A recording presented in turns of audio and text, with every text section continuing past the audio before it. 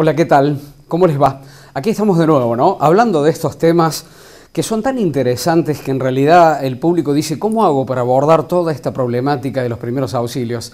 Y si uno debiera definir qué son los primeros auxilios, son las cosas que usted como público, como testigo de una situación de emergencia, puede llegar a hacer cuando se enfrenta a una causa, un motivo, una razón que tenga que ver con un problema de salud, ¿no? Eh, hay un tema puntual que asusta tanto y que da tanto temor y que, y que hace que la gente tenga tanto miedo que son las crisis convulsivas. ¿no?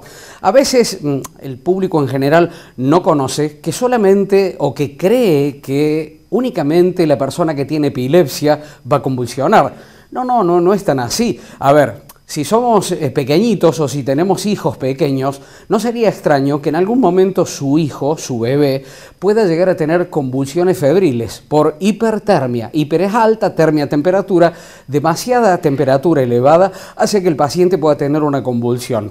Quien lo vivenció, quien lo vivió, quien si tuvo la oportunidad de verlo, sabe muy bien de lo que estamos hablando, ¿no? ¿Por qué? Porque el paciente empieza a tiritar, a castañetear los dientes, tira los ojos para atrás, se pone firme, rígido y luego comienza a sacudirse. Ay, cuando esto pasa, yo te entiendo papá, te entiendo mamá, te entiendo abuelo, te entiendo docente, que no sabes qué hacer y que ahí empiezan todos estos comentarios que hasta a veces son fuera de lugar, ¿no? Muchas veces la gente corre con un bebé que acaba de convulsionar por fiebre mientras está convulsionando.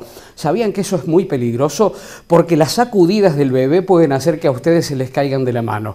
Ustedes sabían que bajo ningún concepto, y esto lo habremos escuchado sistemáticamente, que la gente dice, le tenemos que tirar de la lengua para que no se la trague. Por favor, no cometamos ese error porque en realidad no es necesario tirarle de la lengua. La lengua no se la va a tragar da una sensación de que al irse hacia atrás por la tonicidad de todos los músculos, la lengua también se va para atrás. Pero vamos a hablar de este tema, porque es fundamental que ustedes conozcan que las crisis convulsivas, en principio y en niños pequeñitos, casi siempre menores a 5 años, pueden llegar a ser por fiebre, ¿sí?